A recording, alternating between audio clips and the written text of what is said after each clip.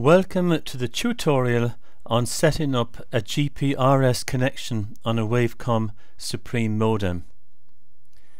The first stage is the hardware configuration of the modem. Firstly connect an antenna. Secondly connect the data cable. In this case a 15 to 9 way non-crossover specification. In some applications 15 to 25 way data cables are used. Next, connect the power supply. The DC input is between 8 to 32 volts DC with a minimum amperage of 1 amp. The most common supply is 12 volts. Connect to the network. Next insert the SIM as shown with the cutout on the SIM to the back right hand side with the gold contacts facing upwards. When it is fully inserted, close the catch on the left hand side by clicking the clip to the right. Power up the modem.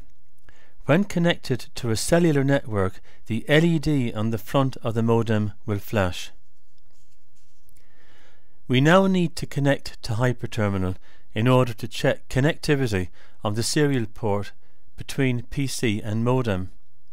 The path to hyperterminal in XP is Start, All Programs, Accessories, Communications, Hyperterminal.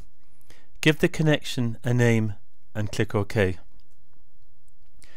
Choose the serial port, in this case COM1. If you are using a USB to serial converter, check beforehand to see which COM port it is using. Drop down the box bits per second and choose a baud rate of 115200 and click OK. To check the connection, type an AT command, for example ATI. ATI is the command for returning the hardware type. The response will be Wavecom modem multiband 900 stroke 1800. Click OK. To attach to the GPRS network, type AT plus CGA TT equals 1.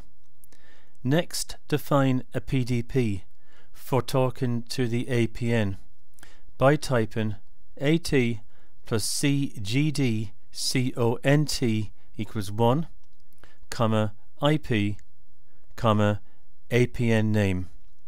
To store or write, type AT ampersand W.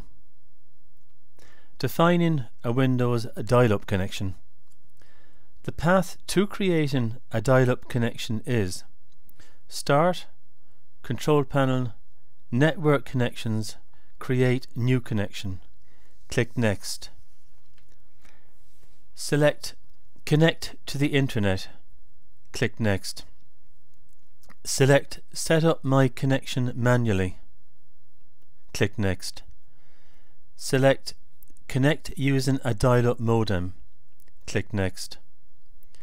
Type in ISP name. Click Next. The connection to a GPRS network on most networks is star 99 star star star 1 hash.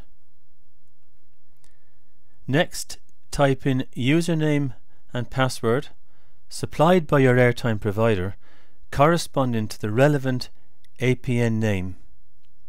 Click Next followed by Finish.